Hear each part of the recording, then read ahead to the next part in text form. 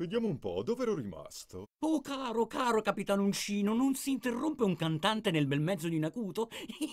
non è educazione. Educazione, ha detto Spugna? Ah! Tuoni e fulmini! Dimostrò forse educazione, Peter, quando mi fece questo? Ben detto, capitano. Quella di tagliarvi la mano fu soltanto una monelleria. Sì, ma poi la gettò al coccodrillo.